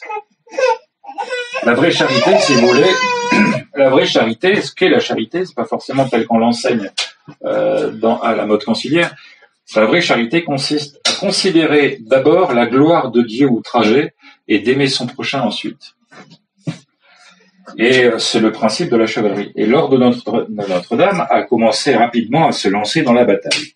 Donc il y a eu différentes sortes de, il y a eu différentes sections de combat qui ont été créées pour lutter contre le communisme. Nous étions, nous étions à l'époque de la guerre froide. Euh, la franc-maçonnerie, les fausses chevaleries et les sectes, et en même temps d'autres sections travaillaient pour l'aide aux nations captives, derrière le rideau de fer pour aider les prisonniers politiques ou même de droit commun, euh, pour l'artisanat et le syndicalisme chrétien, pour la diffusion de la doctrine chrétienne à l'armée. Et chaque section avait sa revue et son pèlerinage. Et parallèlement, l'ordre médité contre le modernisme à l'œuvre au Concile Vatican II, euh, qui venait de s'ouvrir en 1962, euh, des actions spécifiques étaient menées, notamment une grande campagne contre la communion dans la main, euh, pour sensibiliser, euh, si vous voulez, les pères conciliaires. Il y avait les Romana Colloquia, donc aux côtés, si vous voulez, de Monseigneur Lefebvre, hein, qui faisait le, gros du travail était fait par lui, évidemment. donc différentes conférences, les Romana Colloquia, les colloques romains, pour contrebalancer l'influence des médias et les groupes de pression libéraux. Je vous parlais de Monseigneur Lefebvre. Donc, dans les années 60, des liens ont été noués entre les chevaliers de Notre-Dame, la cité catholique de Jean Rousset, et même Monseigneur Marcel Lefebvre. Le maître de l'ordre était alors le colonel Jean de Penfentegno, euh, et son frère Michel de Penfentegno était l'un des responsables de la cité catholique, qui s'appelle maintenant Civitas. Et il se trouvait que trois membres de l'ordre avaient acheté avec euh, deux de leurs proches euh, la maison d'Écône en 1968. Cette maison, en fait, qu'on appelait la maison d'Écône, euh, appartenait aux chanoines du Grand Saint-Bernard et elle était, en 1968, vous voyez ce que je veux dire, euh, était vouée à des fins euh, profanes, scandaleuses, etc. Un centre culturel, voire pire. Et donc, des, des catholiques ont, dit, dont les chevaliers Notre-Dame, ont dit euh, il faut faire quelque chose et sauver ce lieu des chanoines du Grand Saint-Bernard pour éviter qu'ils tombent entre des mains profanes. Euh, donc, ce qu'ils ont fait, ils ont acquis la maison, les chevaliers suisses, ils l'ont conservée, pour pouvoir la transmettre à une œuvre d'église. Et dans l'attente, ça c'est devenu la commanderie d'Écône des chevaliers de Notre-Dame. Ensuite, par euh, différentes tractations, Monseigneur Lefebvre avait besoin de bâtiments pour former euh, ses séminaristes.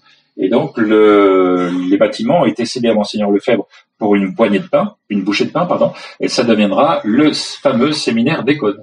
On fait parler de lui. Hein.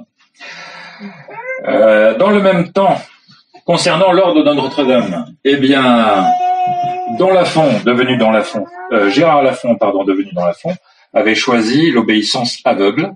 Fin 1969, il éditait la nouvelle version de la règle, expurgée de toute référence au royaume du Christ euh, et au règne social de notre Seigneur Jésus-Christ. Et en 1970, donc la rupture est consommée, Certains membres sont expulsés, disant, et d'autres décidaient de quitter l'ordre. Ils disaient par exemple, je ne vais pas euh, renier le texte original de la règle euh, sur lequel j'ai été adoubé. C'est pas possible.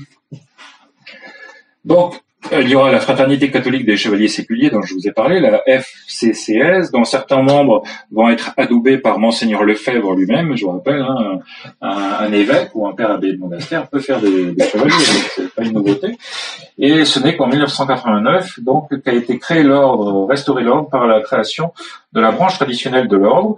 Euh, les constitutions euh, seront approuvées euh, euh, par la, commission canonique de la fraternité Saint-Pédis en 1995, les constitutions de l'ordre. Voilà. Alors, euh, comme vous le voyez au bas de l'image, euh, c'est l'obsèque d'un de nos chevaliers aux Philippines, en bas. Et comme vous le voyez, on est chevalier euh, jusqu'à la mort. Hein. Euh, en haut de l'image, vous avez l'ordre en pèlerinage escortant le Saint-Sacrement euh, et dans les malades. Et à droite, ce sont quelques jeunes cadets de Notre-Dame qui aident leur chapelain pour la messe alors, comment l'ordre de Notre-Dame est-il organisé? Euh, Donc, il possède un corps de jeunesse formé de cadets, de pages, de cadettes et de demoiselles, et formé de jeunes à partir de 8 ans. Euh, à partir de 18 ans, on passe écuyer. C'est dans la tradition chevaleresque parce que au Moyen Âge, euh, on n'estimait pas faire un chevalier, en gros, avant l'âge de 21 ans. C'est pour ça que le, jeune devient écuyer euh, à 18 ans et euh, normalement à 21 ans, il est euh, après une formation morale, intellectuelle et théologique, les bases de la théologie, il est il est puisqu'il s'agit, si vous voulez, de combattre essentiellement sur le point, plan spirituel actuellement. il est les adultes sont postulants, ils rentrent comme postulants. Ensuite, ils deviennent euh, écuyers. On passe ensuite, après deux ans, frère d'armes. Et ensuite, on peut être appelé à devenir donna. On professe des vœux privés. Donc, on a trois vœux. La conversion des mœurs, qui consiste à se convertir. Euh, la fidélité à l'ordre, qui est la fidélité à la règle et aux officiers de l'ordre et euh, la défense de l'Église, voilà, qui est l'engagement à euh, voler au secours de la chrétienté à la demande du pape.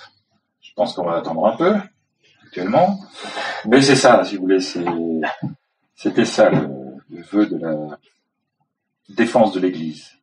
Donc, on prête ses vœux. Les donats euh, ne sont pas chevaliers, euh, pas encore, et ils prêtent ses vœux, ils prêtent leurs vœux de manière temporaire. On est libre, en fait, jusqu'à ce qu'on est chevalier, on est libre de quitter l'ordre sur simple démission. Hein. Le grand jour arrive, le futur chevalier est appelé par le magistère donc à devenir chevalier. Il euh, professe les mêmes vœux de manière définitive cette fois-ci. Euh, un soir à l'église, il fait cela, il reçoit le manteau blanc qui est timbré de la croix de l'ordre. Recevoir le manteau, avoir le manteau blanc, ne signifie pas être, chevalier, forcément, c'est surtout, euh, sa signification, c'est, euh, religieuse, c'est avoir professé ses vœux. On met ce manteau blanc lorsqu'on a professé les trois vœux en question. il passe la nuit en prière, donc revêtu du manteau, et euh, c'est l'abbaye d'armes. Et le lendemain, après la messe, le chevalier consécrateur le fait chevalier par l'adoubement militaire. Et si l'évêque est présent, c'est lui qui administre au nouveau chevalier l'adoubement liturgique. Les épouses des chevaliers peuvent aussi rentrer dans l'ordre, on les appelle des, euh, dames.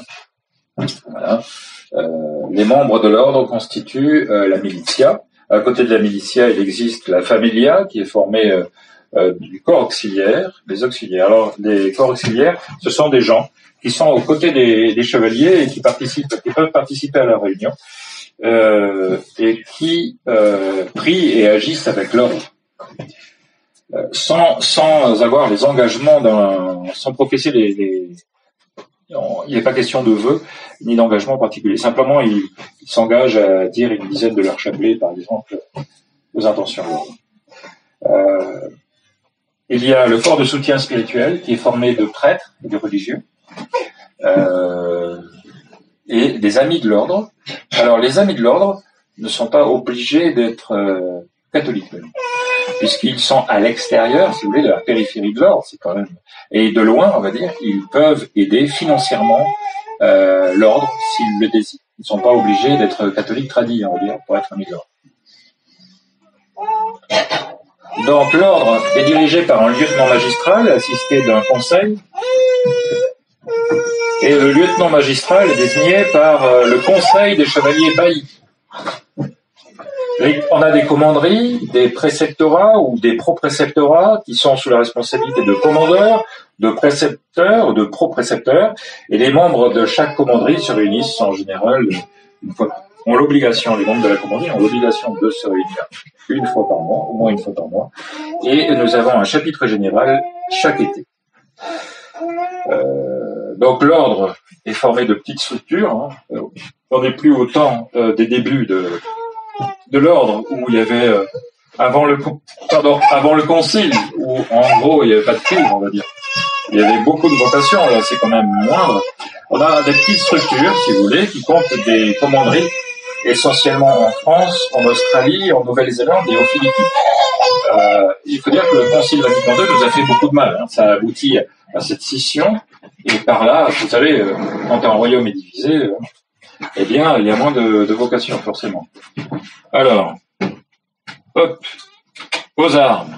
Les armes dans un sens héraldique. Hein aussi. Alors, les armoiries de l'ordre se blasonnent d'argent une croix potencée d'azur aux, cœurs unis de gueule brochant en, abîme. Euh, d'argent, donc vous avez le fond qui est blanc, à une croix patancée, la croix patancée qui est la croix de l'ordre du temple, mais elle est d'azur, elle n'est pas de gueule. Les Templiers avaient une croix rouge. Là, elle est bleue pour euh, symboliser notre lien à Notre-Dame. Hein et euh, au centre, vous avez en abîme, vous avez les cœurs unis de gueule qui brochent. Voilà comment on dit. Donc, on a une devise qui est à temps et à contre-temps, qui vient du latin opportuné, importuné, qui nous vient de Saint Paul. Euh, donc Notre-Dame est le véritable temple de la Sainte Trinité du roi des rois. C'est pour ça qu'elle est notre patronne.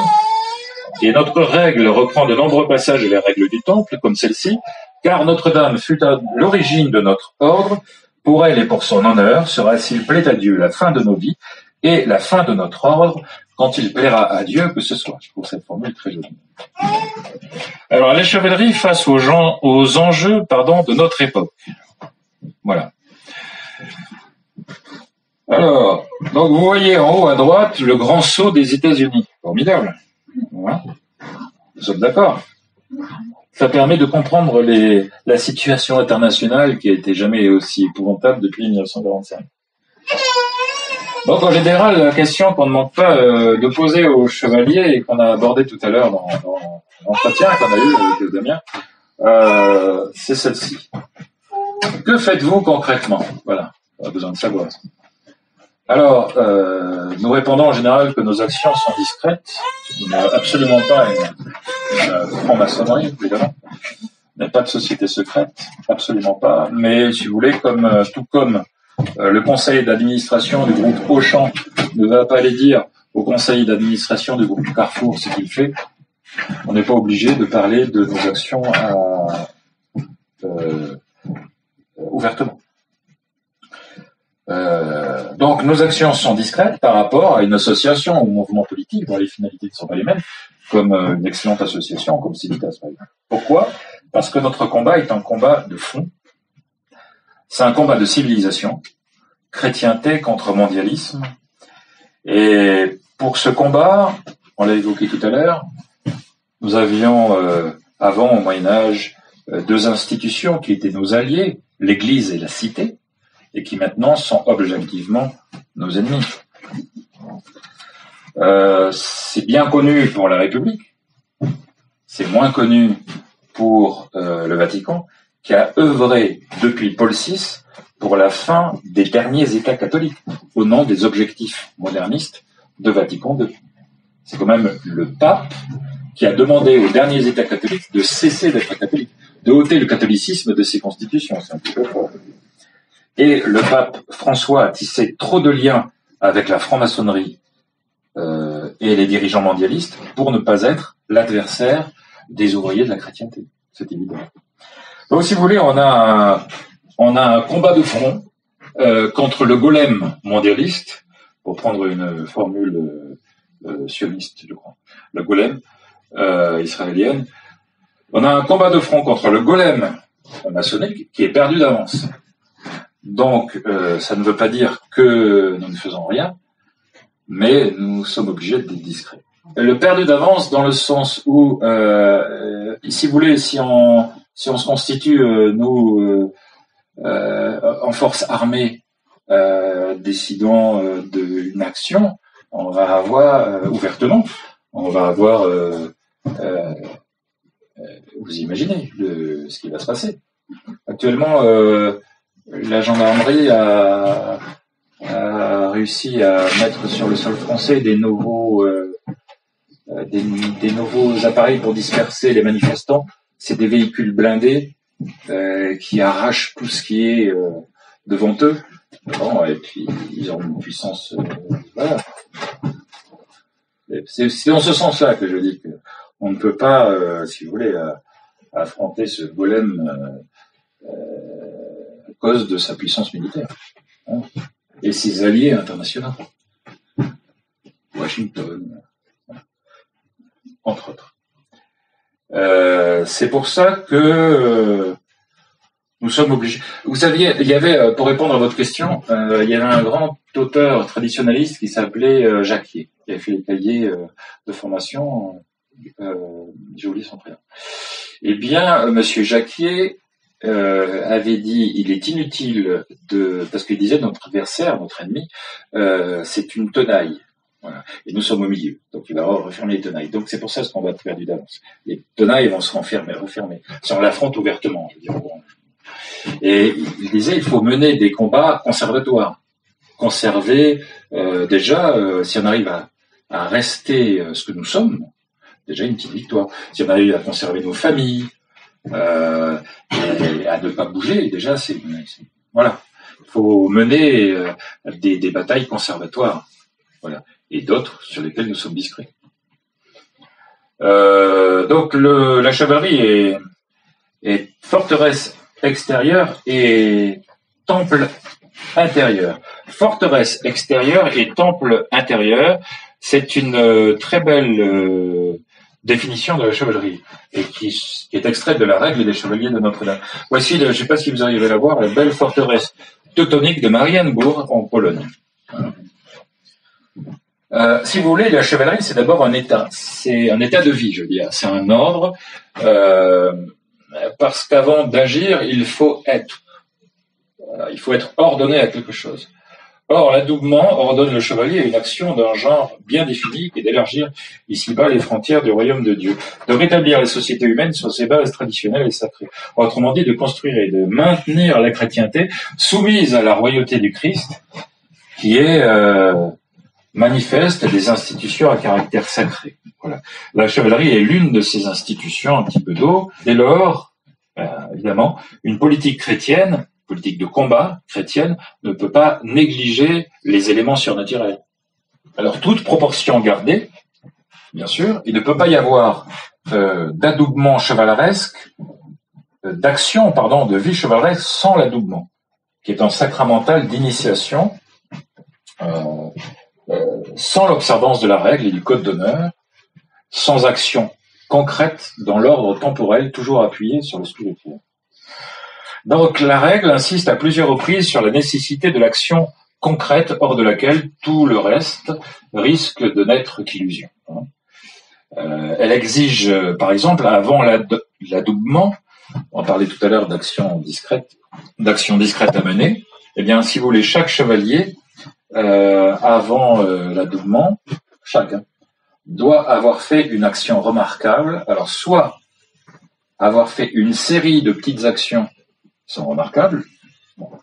c'est chacun qui voit. Voilà, une, conduite exemplaire. Ils disent que vraiment, c'est quand même bien. Voilà, on travaille dans, voilà, constituer une association intéressante. Ou bien une action euh, discrète euh, qui euh, montrera cette pugnacité, cette volonté d'agir en direction de la chrétienté. Hein. Voilà, donc il faut avoir fait cela avant. Et euh, l'ordre de Notre-Dame établit un certain nombre d'observances religieuses, dresse un programme d'études intellectuelles, mais n'oublie pas les exercices du corps, puisqu'il y a une obligation à, se, faire de, d'exercice, hein, du, sport, chacun selon son âge, bien entendu. Alors, euh, et euh, d'appartenir à un mouvement politique euh, qui soit en accord avec l'Église, qui ne soit pas condamné par l'Église, évidemment. Alors, ordre ou mouvement? Alors, le mouvement est partout. Vous savez, les meilleurs, d'ailleurs, ont leur utilité. Mais comme le disait Maurras, la République gouverne mal, mais elle se défend bien. Ça, c'est un petit peu pour ça, madame, que je parlais que le combat de, front était perdu d'avance. Parce que la République gouverne mal, mais se défend bien, c'est la famille de Maurras. Euh, on est d'ailleurs à quelques jours du 89e, 89e anniversaire du 6 février 34, qui illustre bien cette phrase de Maurras. Eh bien, euh, le 6 février 34, euh, ça a été un mouvement, dire, qui, qui, a marché sur le Parlement, avec de nombreux, de nombreux mouvements contre-révolutionnaires, dont l'Action française, il y avait même des francistes, euh, il y avait, voilà. Et euh, non, les francistes, je ne suis pas certain. Mais beaucoup de non, ils n'y étaient pas. Mais non, effectivement. Mais la hein les croix de feu, les croix de feu, du colonel Rock, etc. Ils ont marché euh, euh, sur le Parlement et on pense que le mouvement a été infiltré puisque euh, la colonne n'a pas pu arriver jusqu'au Parlement. Voilà. La direction a été infiltrée. Mais la répression policière a été terrible a été des centaines de morts, notamment euh, au sein de l'action française. Et donc c'est pour ça, la République gouverne mal, mais elle se défend bien. Donc le mouvement, même le meilleur, reste en mouvement de masse, puisqu'il faut recruter. Euh, sa fin est spécialisée, il n'exige de ses membres qu'une seule partie de leur activité.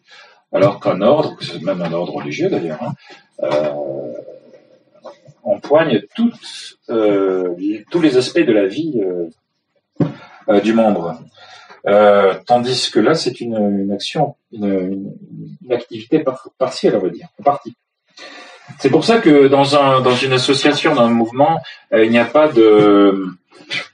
On ne confère pas une association. On ne confère pas une association comme un confère, comme un confère en Europe. C'est différent.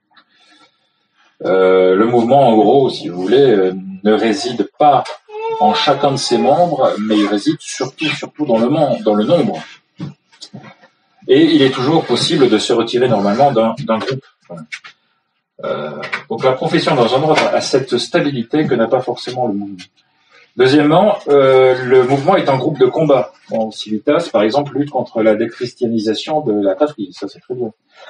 Euh, c'est pour ça que lorsque la paix revient, mettons, euh, ça dure un petit peu hein, pour ce qui concerne la défense de, d'une patrie chrétienne, le combat dure un petit peu puisque nos adversaires restent nos adversaires et que le combat n'est pas fini. Mais néanmoins, prenons le cas de, de la croisade, qui est euh, l'exemple, euh, le, meilleur exemple du mouvement, c'est la croisade. Dès que, dès que le, royaume est délivré, bien le mouvement cesse, la croisade cesse. Voilà. Et donc, un mouvement, une association, c'est pareil. Dès que l'objectif est atteint, le mouvement, normalement, se dissout. Euh, bon. Donc, sans ignorer la valeur de certains mouvements, l'ordre est une institution stable, homogène, qui appartient à la structure même de la société chrétienne. La chevalerie appartient à la structure de la société chrétienne. Euh, donc, en soi, le mouvement est une bonne chose à la condition que ses fins et ses moyens sont bons et catholiques. Euh, mais il y a toujours le risque que la quantité euh, se fasse au détriment de la qualité. Euh, mais un chevalier peut appartenir à un mouvement si celui-ci n'est pas contraire à ce que souhaite la Sainte Église, non conciliaire. Nous sommes d'accord. pour la société. Les deux appartenances, d'ailleurs, peuvent euh, se compléter pour le but à atteindre. Euh, on va prendre le cas des nationalistes, par exemple. Eh bien, euh, il est nécessaire que le mouvement nationaliste continue de mettre l'accent sur la formation de chacun de ses membres, comme il le fait d'ailleurs, et de veiller sur le recrutement. Et il est nécessaire que, d'ailleurs, que par son attitude, l'allure, les vêtements, l'attitude doit être irréprochable, eh bien, on puisse continuer à différencier, on puisse continuer à différencier le nationalisme de l'antifa. Important. Et le nombre est tout de même appréciable, ça sera mon mot de conclusion. le nombre est tout de même appréciable lorsqu'il s'agit de défendre une librairie nationaliste et traditionnaliste contre les hordes gauchistes et anarchistes qui veulent s'en prendre à celle-ci, à leur famille, à ses dirigeants, mettre en, voilà, menacer la petite Donc là, le nombre est tout de même appréciable pour, euh, dans ce cas-là, dans votre cas. Je vous remercie de votre attention.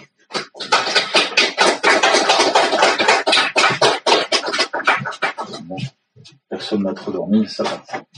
Je ne doutais pas de vous, mais je doutais de moi. Voilà. Est-ce que vous avez des questions? De préférence des questions faciles que je puisse répondre. Pour arrêter le golem, l'intervention de Dieu. Euh, actuellement, il y a peut-être, euh, vous savez, dans une euh, dans une de ses apparitions, Notre-Dame a dit qu'elle se que Dieu se réservait de se choisir la Russie pour, euh, pour mettre de l'ordre. C'est très bien, sauf que euh, moi je suis pas euh, pro-Poutine, hein, je suis français d'abord. mais nous avons d'une part l'Ukraine alliée à l'OTAN, d'autre part la, Russie qui, résiste,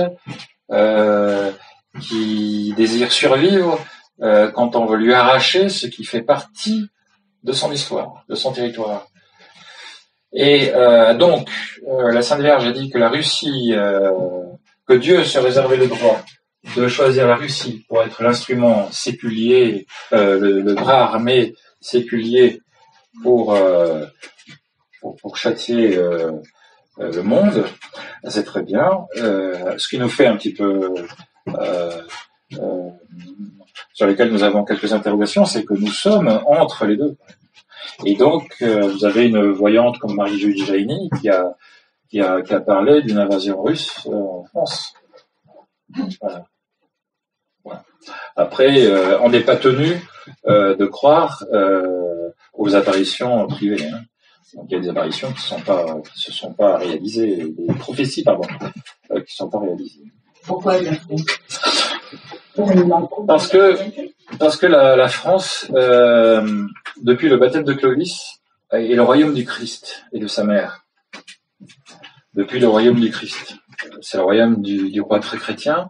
Et longtemps, la France a été, si vous voulez, le phare des nations chrétiennes. C'était le phare des nations chrétiennes. Vous savez que lorsque, euh, mettons Louis XIV, ou les rois de France en général, mettons Louis XIV, quand il recevait en audience euh, des ambassadeurs, euh, pardon, excusez-moi, lorsque le Vatican recevait des ambassadeurs, l'ambassadeur de France passait en premier, parce que euh, la France était considérée comme la fille aînée de l'Église. Alors pour l'Espagne, c'est très joli aussi, parce que les Espagnols, les Hidalgo espagnols disent, c'est la France est la fille euh, aînée de l'Église. Et nous, l'Espagne, nous sommes la fille aimée de l'Église. c'est très joli ça. Mais euh, il est vrai que, c'est, elle a été euh, le Vatican, c'est comme ça. Hein. C'est pas une invention de ma part. C'est ce qu'estime le, Vatican. Le Vatican a toujours considéré la France comme la fille aînée de l'Église. C'est pour ça que les ambassadeurs, ambassadeurs de France, euh, avaient le pas sur les ambassadeurs les autres ambassadeurs étrangers quand ils étaient reçus au, Vatican. Voilà un petit peu pour répondre à votre question. Donc, euh, quand, la, France fait bien les choses, eh bien, elle rayonne. Euh, elle-même est un pays florissant. Et quand elle, fait mal les choses, eh bien, euh, euh sera une influence forcément sur le reste du, du continent. Je ne sais pas si j'ai bien répondu à votre question, madame. Je voulais une petite tête d'espoir. Ah oui. Ouais, c'est... Oui, oui. Euh, la note d'espoir, euh, elle est contenue, si vous voulez, dans le. Euh, pour moi, moi, bon, malgré les apparences, je, vous annonce les mauvaises nouvelles, mais je suis, je suis persuadé que la France ne mourra pas. Elle va connaître des heures difficiles, mais ne mourra pas. Pourquoi? Parce que le roi Louis XIII a consacré la France à la Sainte Vierge en 1638.